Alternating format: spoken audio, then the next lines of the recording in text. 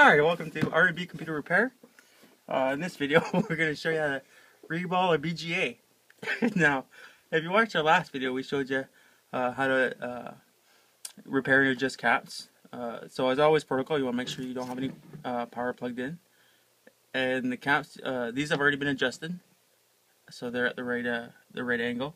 You always want to make sure that you, you, you get, get a good discharge. So you can see here I'm using a, a, a you want to make sure you're using a Phillips.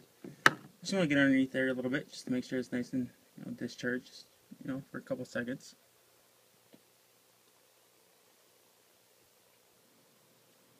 Alright, that should be good.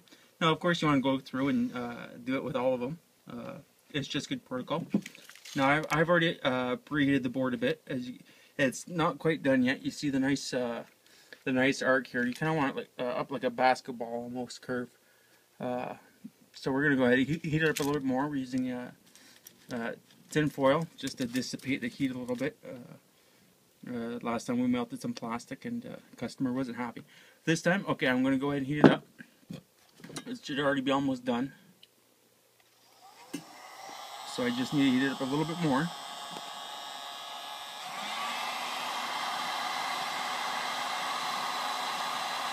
Alright, there we should be almost on and off. So you want to take a flight. Now this is going to be, you got to be real, real careful here. Or as I said, it already preheated. You got to be real care careful here. So you just want you want to take a flat flathead screwdriver and just you want to be make sure you get, you want to make sure that you're getting just at the end and very light. You just want to there we go, just like that.